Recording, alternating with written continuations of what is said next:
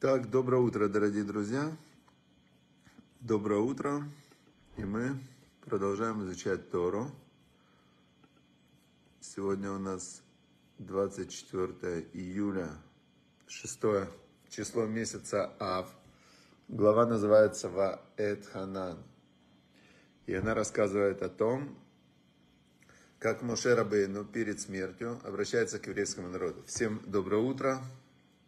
6 июля. Кто вчера поздно праздновал? Вчера был Йорцайт, годовщина смерти Аризаля. Был такой великий-великий мудрец Аризаль. Его звали, он, он раб, Аризаль это раби Шлома, его звали раби Ицхак. Аризаль. Ари. Да, Раби Ицкак Зихраноли Враха, но сокращение это Аризаль, правильно. Значит, он был великий мудрец, через него сейчас, вот вся кабала, которую мы сейчас учим, она через него пошла. Хорошо, дорогие друзья, все, мы открываем главу Вайт Ханан. Очень советую всем э, все-таки начать, начать работать с первоисточниками, с первоисточниками, потому что когда вы слушаете уроки, когда вы э, как бы узнаете о Торе, да, о Торе, это прекрасно, это как бы первый шаг в изучении Торы, это первый шаг.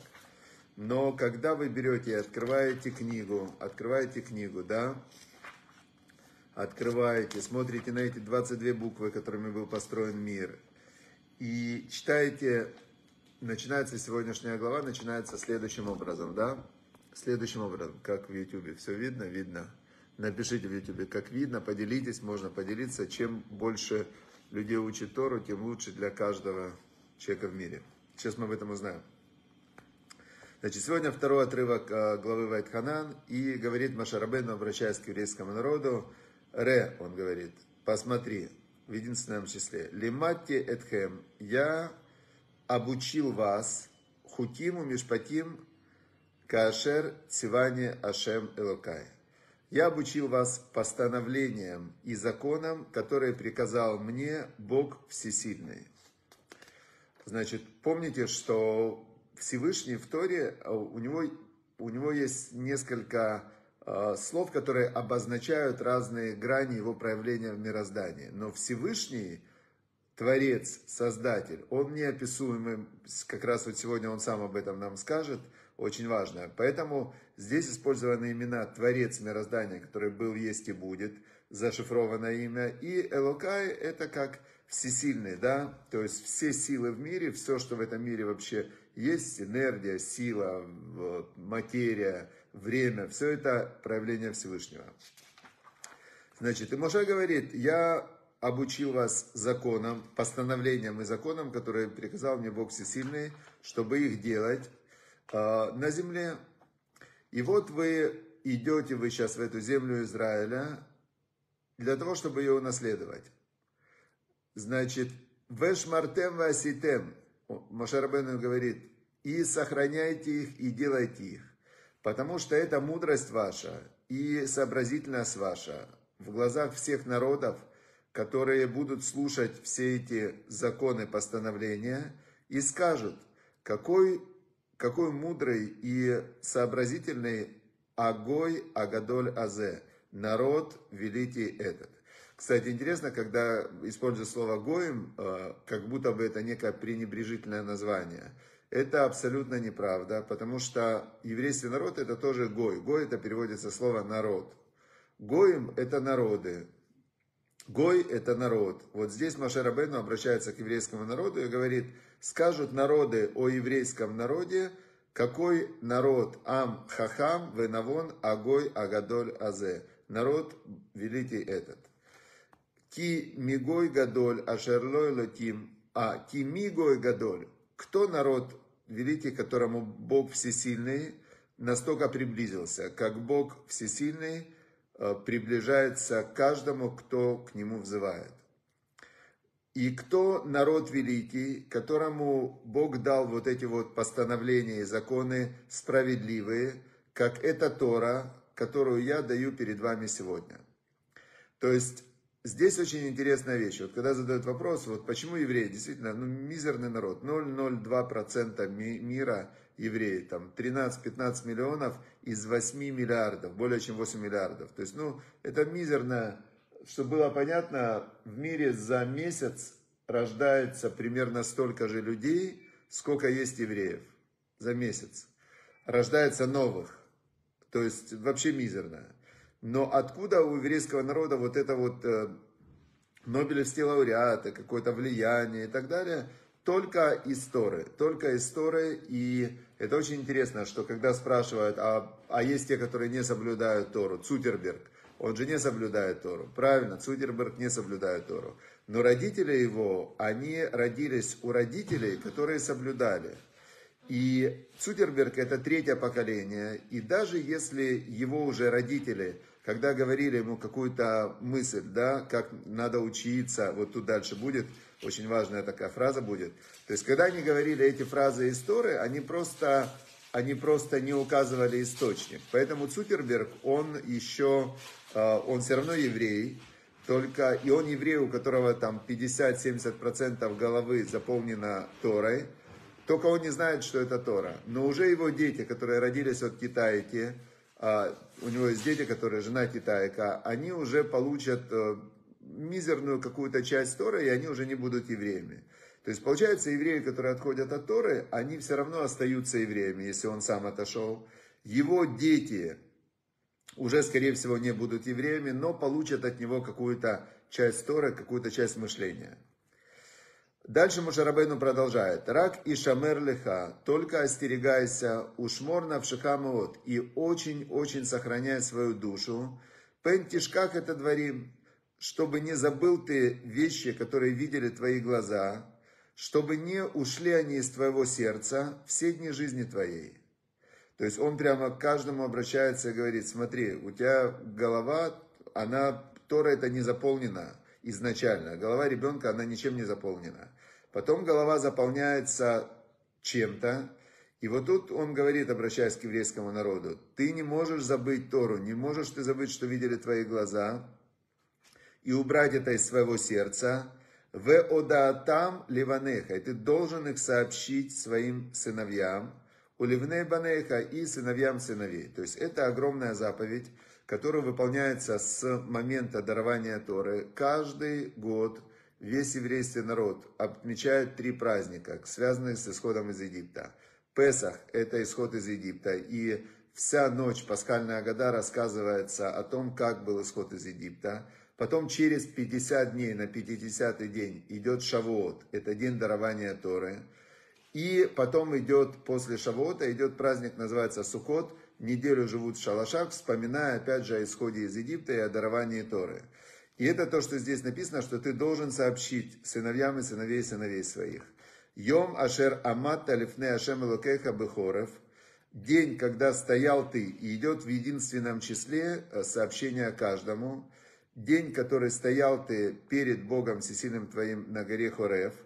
А, как говорил Бог, когда говорил Бог ко мне, собери весь народ и сообщи им те слова, которые они будут изучать, бояться меня все дни, которые они живут на земле, а, и сыновья, и сыновей своих обязаны обучить. То есть вот этот вот момент, который конкретно отличает, даже не отличает, это главное, не главное, может быть, даже единственная особенность еврейского народа, это изучение Торы. Потому что без Торы еврейского народа не существует. То есть, как только человек прикрепляется к Торе, он становится евреем, он соединяется со Всевышним. То есть, связь со Всевышним идет через слова Всевышнего, которые переданы в Торе. И вот это вот главный момент, то есть невозможно быть религиозным и не учить Тору, да, потому что те, кто пытаются так делать, они через какое-то время обязательно скатываются. То есть здесь главное, что изучайте и обучайте. Ватикрывун ветамидун тахат ар-ар. Значит, э, и приблизились вы, и стояли вы под горой, которая горела в огне. И которую вы видели тогда от Лева Шамаем, вы видели до сердец небес, то есть здесь скрыта Кабала, они все поднялись тогда на ступени пророчества, и они видели, как все небеса, все духовные миры, и, значит, Хошек, Анан, Варафель, и была темнота, и облака, и мгла. И говорил Бог вам из огня, слышали вы э, голос и слова, а никакой картинки, изображения вы не видели кроме голоса. Это очень важная сейчас начинается вещь, которая очень сильно э, определяет, э, кто такой Всевышний. Да? Моше Рабейну говорит, вы помните, вы слышали голос, но вы не, не видели никакой картинки. И сказал вам, ваягет лахем эт брито, и сказал он вам союз его, который приказал вам делать, и сказал он вам 10 заповедей. То есть тогда все услышали первых две заповеди, Потом у них отрывалась э, душа от тела, то есть ну, было такое проявление Всевышнего, которое не выдерживал человек, и они попросили уже Машарабену продолжать. Но Бог приказал вам 10 заповедей, и написал он их на, на лухот, на скрижалях каменных. Да, были эти скрижали каменные, это было из сафира.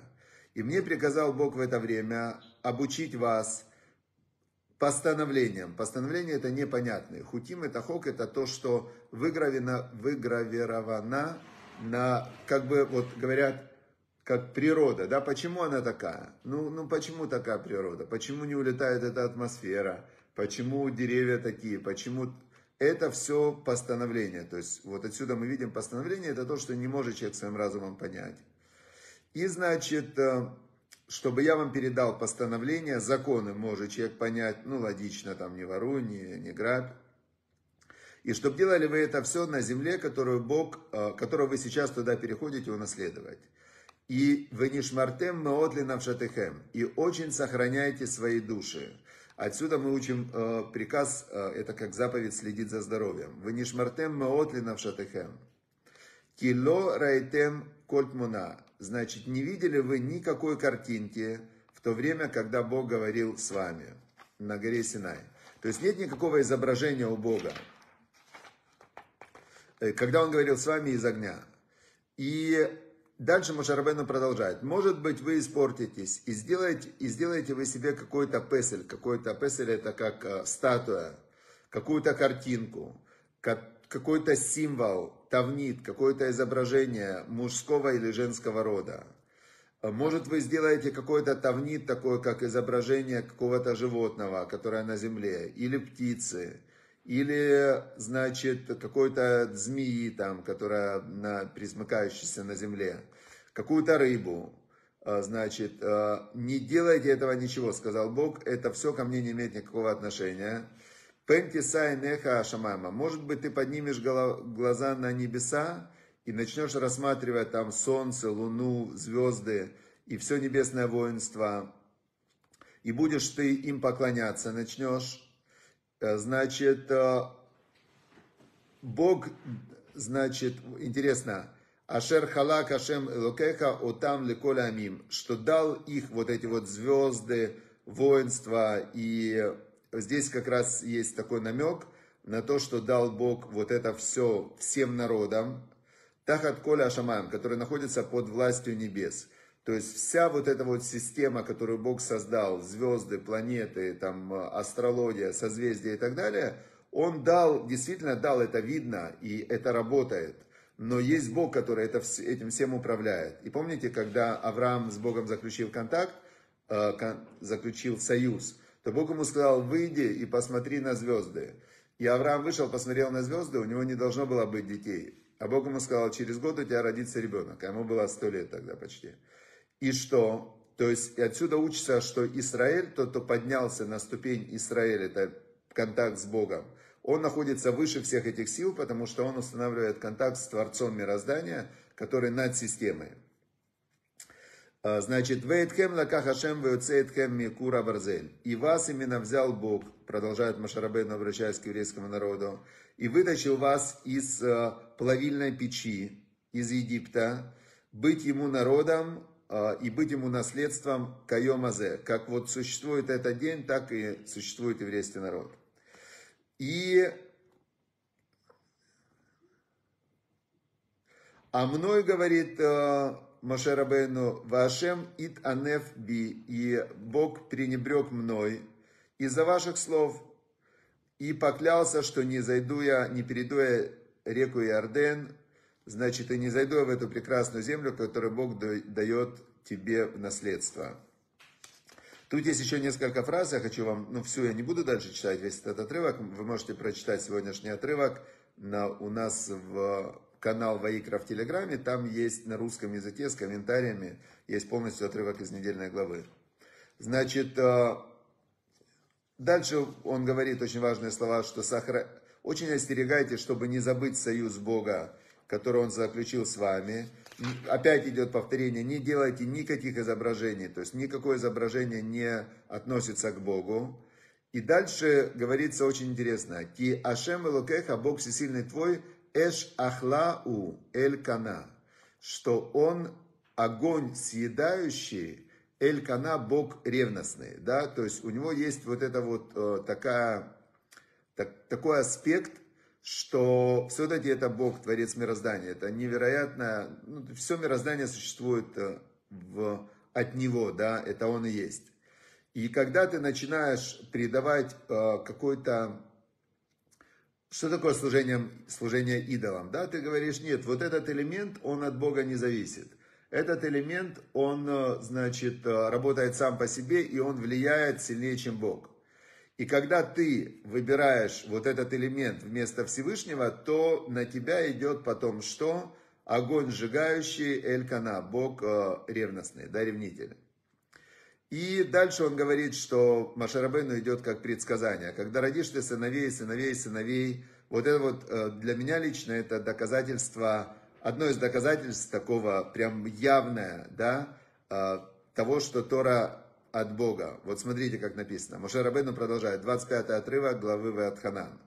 Когда родишь ты сыновей, сыновей сыновей, то есть пойдут поколения, вы нашантем барец, и вы уже обоснуетесь на земле, и испортитесь вы, вы ишхатем, и испортитесь вы, васитем песель, и сделаете вы, все-таки сделаете эти статуи, изображения, и будете делать зло в глазах Бога Всесильного и гневать Его. И Моше Рабейну говорит, смотрите как, в аидоти бахем айом. Я, говорит, при, призываю в свидетели сегодня, это шаман в арец, небеса и землю, что пропадете вы быстро, как только начнете служить идолам, с этой земли, которую вы сейчас переходите через Иорден туда, чтобы унаследовать ее. Не продлите вы дни на ней, если начнете служить идолам, значит, а будете вы уничтожены.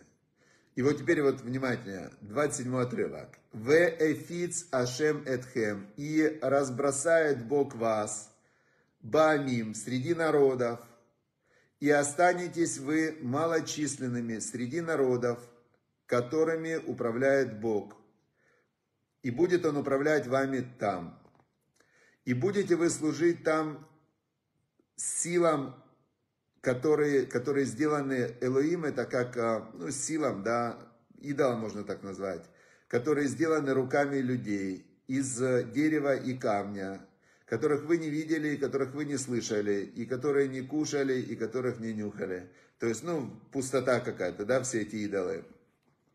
И будете вы убекаштем мишам эташем элокейха.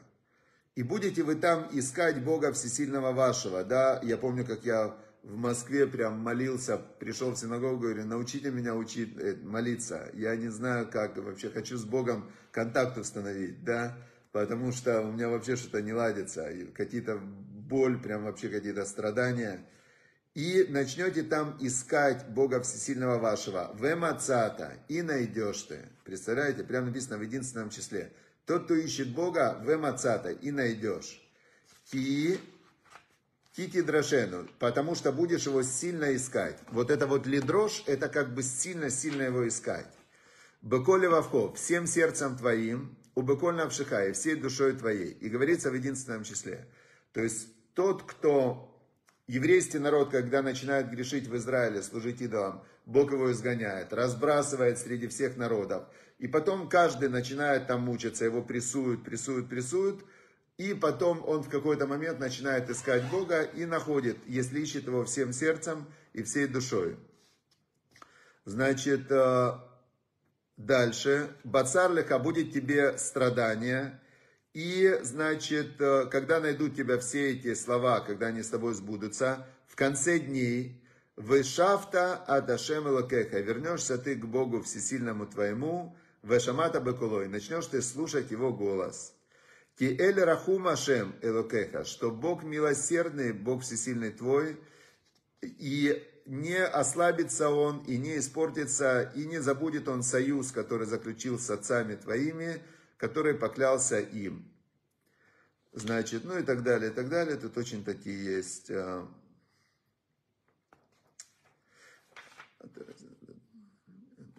И очень сильная фраза, ее говорят всегда, когда выносят Тору. Вот представляете, это Моше Рабейну записал 3335 лет назад. Каждый, в каждой синагоге во всем мире, когда выносят свиток Торы для чтения, говорят вот эту фразу. Ата орей салидат, Ата начал показывать и сообщать, что Бог, Он всесильный, и нет ничего и никого, кроме Него. Еще есть одна фраза, очень здесь сильная, которая... Вот, эта фраза тоже, ее произносят каждый день в молитве, 39 отрывок. В ядаата йом, и узнаешь ты сегодня, в ашевата элевавеха, и ты как бы опустишь, запишешь на сердце свое, потому что бывает человек услышал, но он в сердце это не впустил. Бывает, что он согласился, но не запомнил. А здесь вот эта фраза очень важна. В ядаата йом, и узнаешь ты сегодня, Вашевата или вавеха. И ты прям лиашив на сердце, это ты прям запишешь на сердце твое. Киашем уэлаим, что Бог, Он всесильный. Башамай мималь, на небесах наверху, ваалярат сметахат, и на земле внизу, эйн от, нет никого кроме Него. И будешь ты соблюдать тогда все его постановления, все его заповеди, которые я приказываю сегодня, Ашер и Тавлиха, чтобы было хорошо тебе, у Леванеха и сыновьям твоим. Зачем Тору изучать и соблюдать? Чтобы было хорошо тебе и сыновьям твоим, Ахарейха после тебя, Улиман Тарих Ямим, чтобы ты продлил дни твои, Аля Адама на земле, Ашер Ашем Элокейха, который Бог всесильный твой, но Тен Леха дает тебе, Коля Амим, навечно. Все, вот такой сегодня красивый отрывок который нам а, показывает и объясняет, к чему приводит изучение Торы, чему приводит забывание Торы, что произошло с еврейским народом на всей его истории.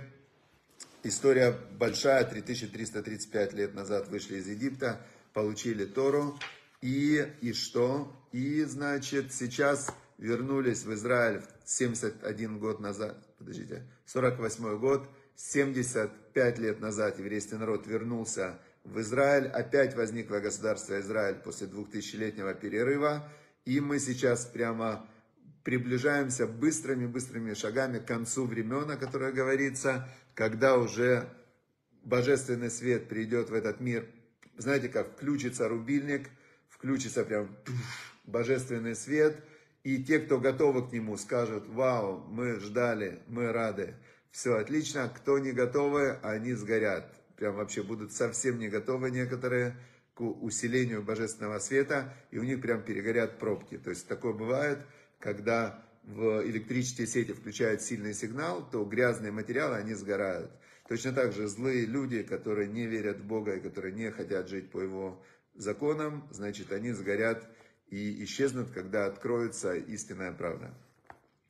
Хорошо. Значит, 24 глава Мишли нам рассказывает, что нам делать конкретно. Сегодня, 24 июля, надо как-то выходить в мир и жить. Как жить? Вот сегодня здесь очень конкретные есть советы, которые относятся именно к повседневной жизни. Значит, первый отрывок 24 главы нам говорит так. Альти канебе аншера не завидуй людям зла, в аль титав льет и там, не возжелай быть с ними. Значит, э, не завидуй. Э, это очень-очень э, сложная вещь не завидовать, потому что есть в десяти заповедях, есть десятая заповедь, называется так, аль тахмот, не возжелай того, что принадлежит ближнему твоему. Если Всевышний на скрижалях, да, на десяти заповедях э, выбрал написать именно эту заповедь, она, она ключевая и она непростая. Это единственная из десяти заповедей, которая, которая относится к мышлению, а не к действиям. То есть возжелай это мысль. И как я могу остановить себя, чтобы не возжелать? Да? То есть это очень странно. Теперь царь Соломон нам говорит здесь э, лайфхак такой, совет. Он говорит, не возжелай того, что есть у злодеев. До этого, помните, в 23 главе он говорил, что нужно хотеть, нужно завидовать качествам, которые есть у праведников. Потому что любое качество ты можешь у себя выработать. То есть есть желание, а есть качество характера, это привычное желание. Что такое? Вот у человека есть, например, его ценности, да? Один человек говорит, я хочу быть, э, быть э, значит, э, настойчивым. Ну, он сказал, сказал, хорошее желание быть настойчивым, да, прекрасно. Второй говорит, я, это для меня важно, и я буду настойчивым. И это он усилил как бы это желание. Потом он, э, это желание заставляет его действовать каждый день.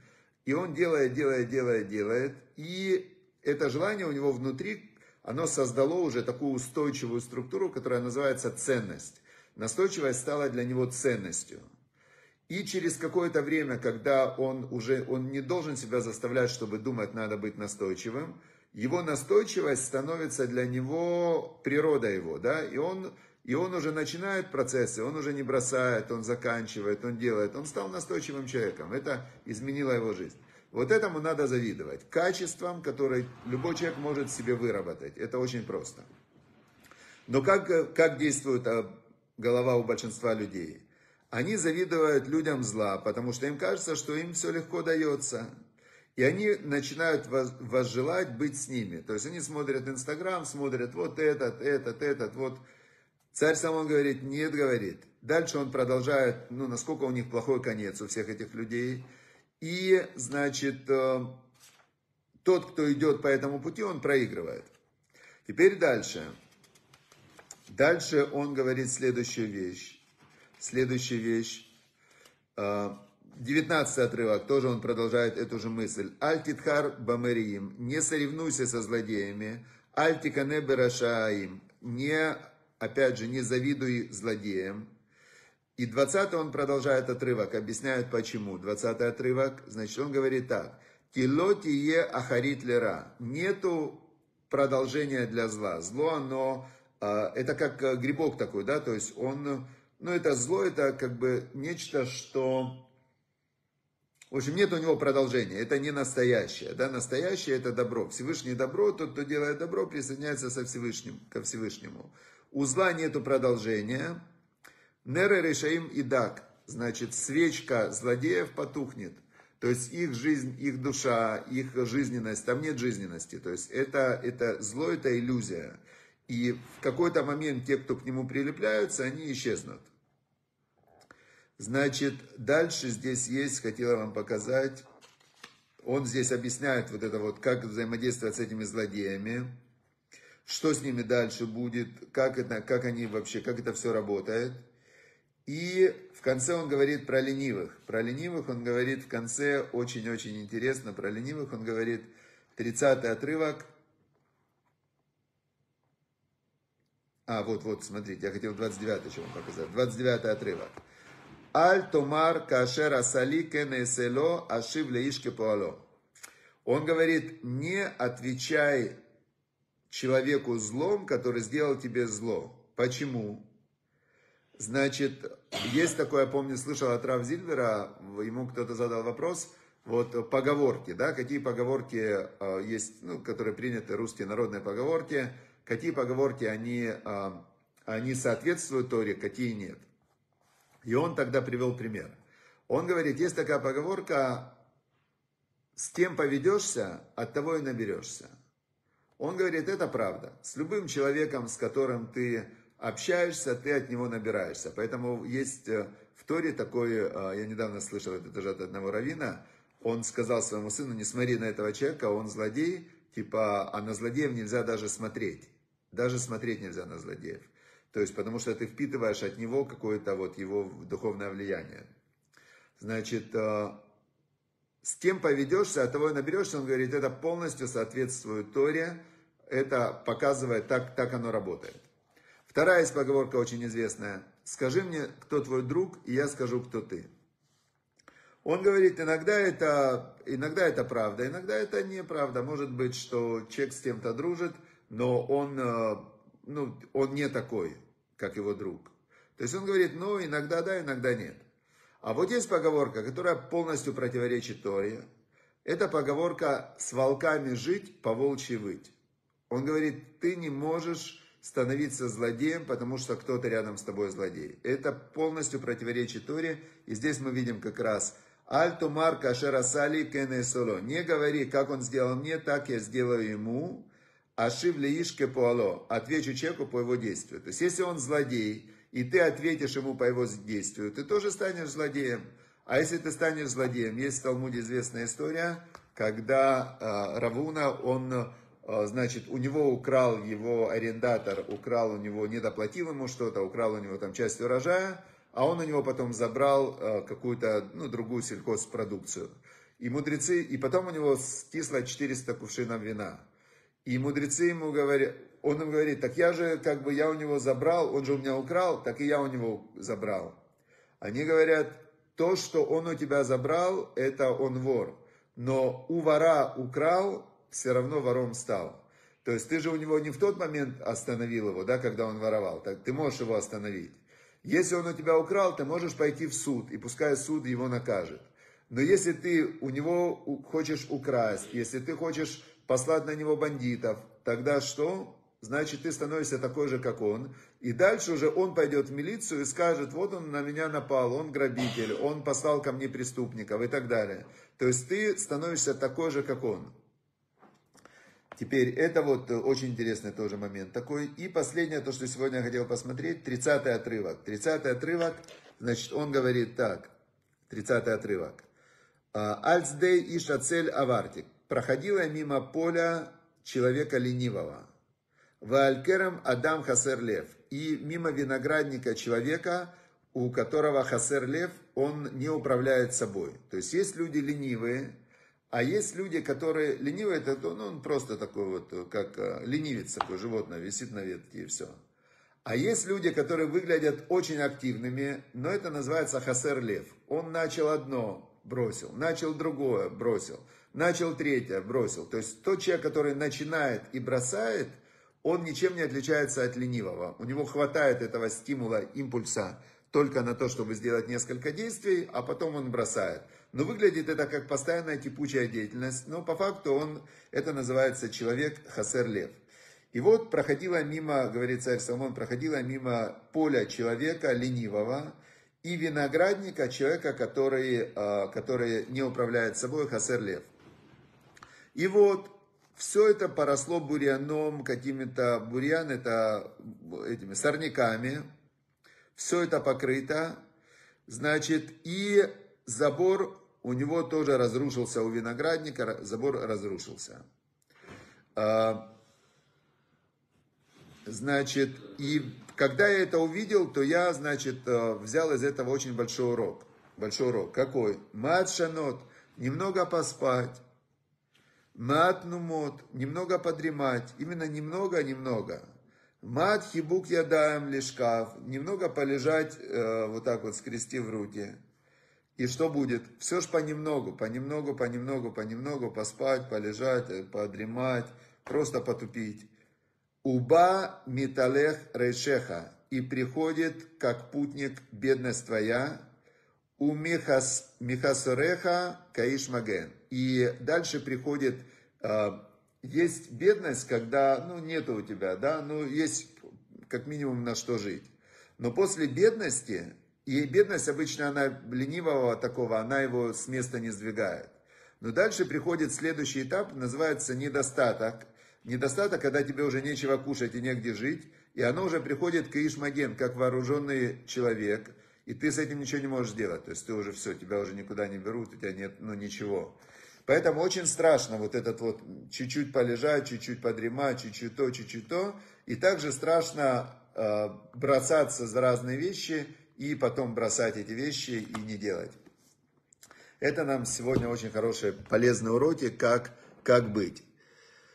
Хорошо, друзья. Все, удачи, успехов всем, чтобы была у нас, хорошо мы поучили. Значит, напишите свои выводы. То есть мы сейчас узнали, но очень важно теперь поработать, взять то, что вы узнали, записать, поучить. Закажите книжку Мишлей, чтобы у вас была книжка, чтобы вы могли каждый день изучать главу, в ней можно записывать и так далее. То есть очень важно, чтобы Тора вошла в сердце вошла в сердце, чтобы узнал сегодня и положил на сердце твое, и тогда будет у тебя связь со Всевышним постоянная, будет включен Wi-Fi, прямая линия, и все молитвы, которые вы будете просить у Всевышнего, чтобы Он вам дал на эти молитвы хороший ответ, чтобы вам было хорошо. Значит, как э, желают в Торе, Ше имале, чтобы Бог наполнил коль мишелот либеха, все запросы твоего сердца, лето ватеха, для твоего добра. Все, друзья, удачи, успехов. Встречаемся завтра с Божьей помощью в 10 утра и продолжаем изучать Тору. Счастливо.